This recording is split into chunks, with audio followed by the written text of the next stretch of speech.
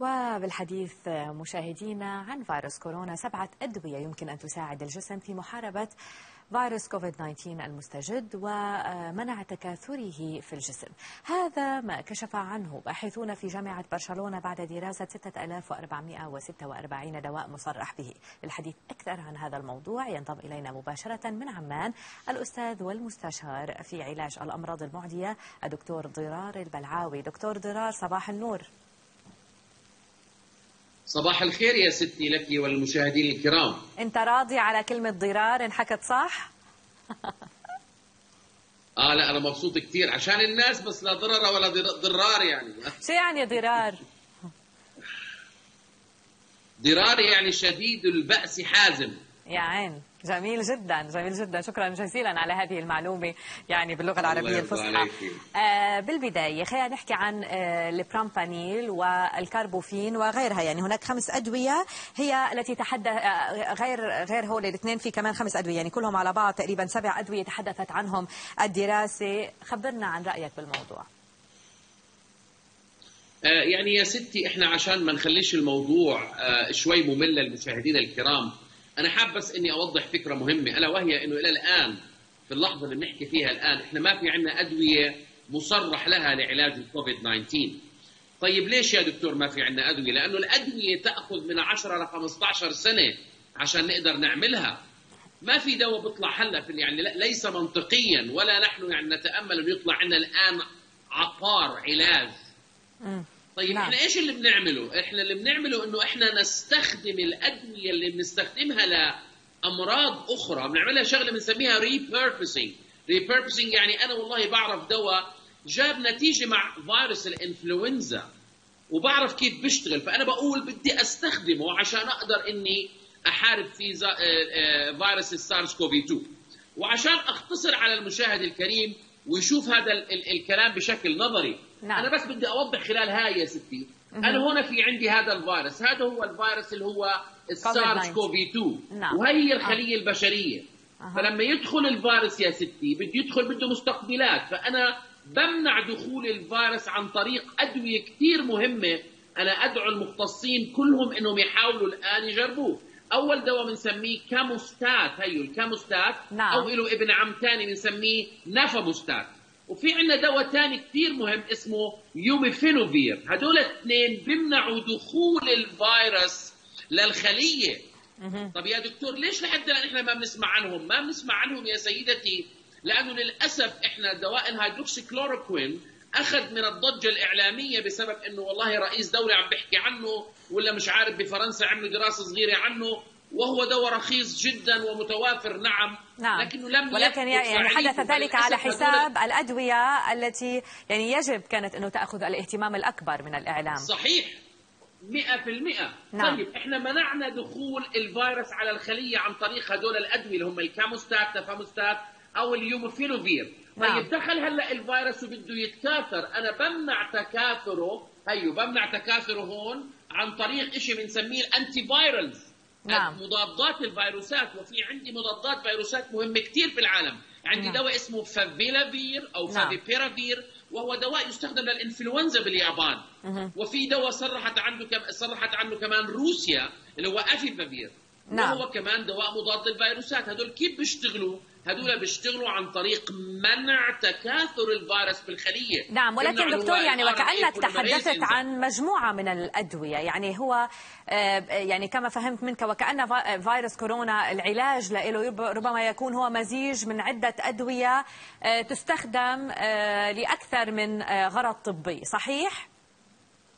أحسنتي أحسنتي. برافو عليكي. أقول لك ليش؟ لأنه إحنا الآن كل ما تقدم فينا الوقت يا سيدتي بيبان معنا بأنه مضاعفات الكوفيد 19 هي ليست إنه الفيروس بس بدي أنا أقتله وما يعني بدي أمنع تكاثره. يعني برضه بدي عن طريق الرسمي أوضح إنه من أحد الأشياء المهمة اللي لازم نستخدمها هون قبل دخول الخ... قبل دخول الفيروس الخلية اللي هي شيء بنسميهم immunomodulator يعني ملطفين للمناعة. نعم. ليش يا دكتور إحنا بنعمل يعني ملطفات المناعة؟ لأنه إحنا نعلم بأنه من مضاعفات الكوفيد 19 هي شغلة بنسميها cytokine storm عاصفة المناعة وهي عاصفة المناعة حقيقة هي من تضر بالحويصلات الهوائية نعم. وهي من تقوم بعمل تجلطات محلية في الرئة لا بل وجدنا تجلطات كمان في الدماغ عندنا تجلطات نعم. في الأوردة حتى مش في الشرايين وكمان أثرت على الكلية وزي ما بتعرفوا الآن في مضاعفات كمان على القلب مايوكاردايتس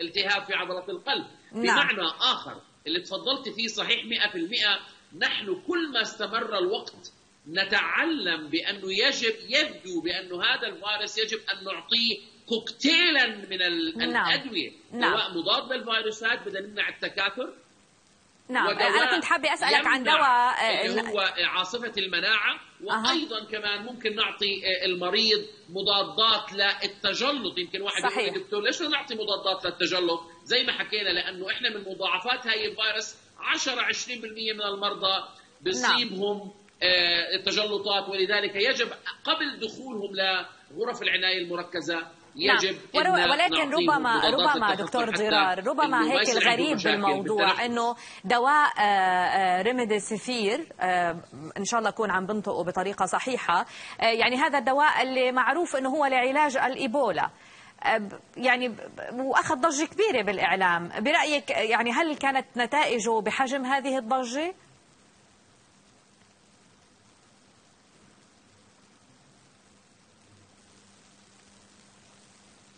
دكتور عم تسمعني؟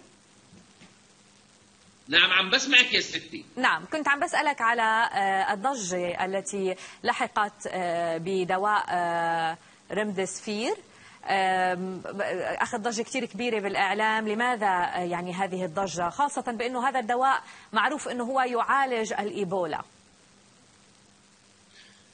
يعني ستي شوفي إحنا آه، يعني إحنا إحنا لا ما ما من- ما بنكون biased يعني لا ننحاز لدواء ضد الآخر، دواء نعم. الريمديزيفير إحنا من الأدوية كمان تحدثنا عنها.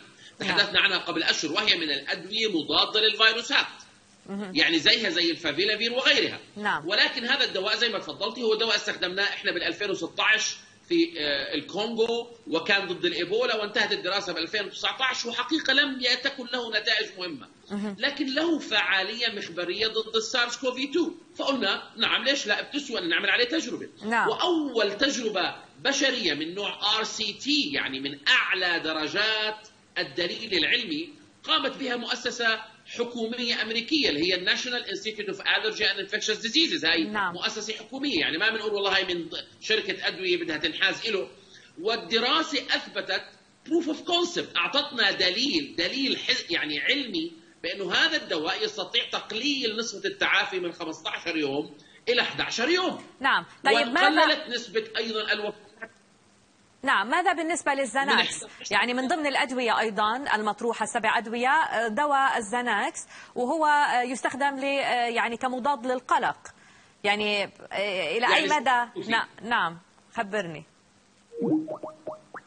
يبدو أننا فقدنا فقدنا الاتصال مع آه، دكتور آه، ضرار البلعاوي الأستاذ الأستاذ والمستشار في علاج الأمراض المعدية. آه، شكرا لك دكتور على كل هذه المعلومات. على أمل أن نلتقي بك في حلقات مقبلة ومشاهدينا يعني مع هذه المعلومات القيمة التي أعطاها إلينا الدكتور. يعني ربما أبرز ما جاء فيها هذه المعلومات أنه ربما العلاج علاج فيروس كورونا سيكون هو مزيج من الأدوية التي تستخدم لأغراض طبية